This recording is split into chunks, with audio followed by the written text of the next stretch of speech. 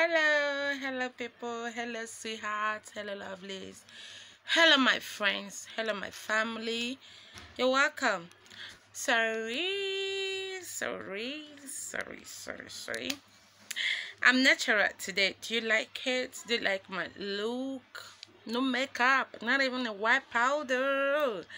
I appeared natural but there's a lot of pimples in my face. Can you help me out with that? See this one it's giving me headache.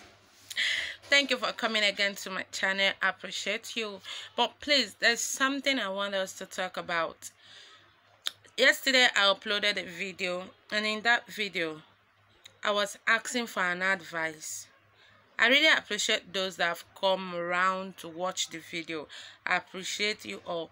But please, um i understand that uh, we are all busy. We are all looking for who to grab and to be grabbed. And also we have so many people to visit because in this youtube some of us have up to a million subscribers some of us have up to thousands of subscribers. So we have a lot of people to visit. But please even if even if you are to visit others. From what I learned, I don't know if it's true or not, but I understood that um, in a video like this, you, you are supposed to watch at least three minutes of that video. Uh, even if you don't want to finish everything, you should spend at least three minutes with it. And I uploaded a video yesterday. I appreciate those that came because they came because they love me. They came because they want to support me. But from the middle of the video i was asking a question from the call i got from a friend asking for advice. And i understood that so many of us didn't even watch to up to that three minutes because i think the the question started before three minutes. And um, many didn't even comment based on that. Many commented based on the topic. So i want to use this medium to beg us please let's learn to support genuinely. Let's learn to help ourselves. Let's learn to help ourselves grow because we need to grow.